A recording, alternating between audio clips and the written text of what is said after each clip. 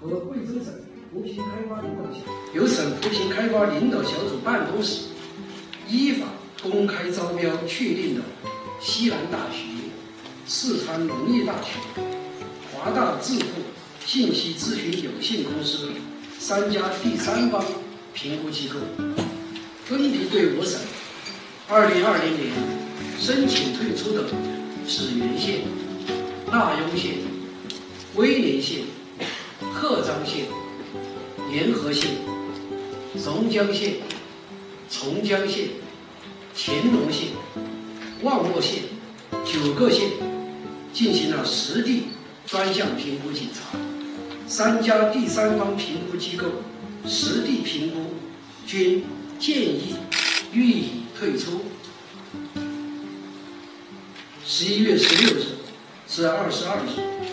按照国家贫困县。退出有关规定，我们就九个贫困县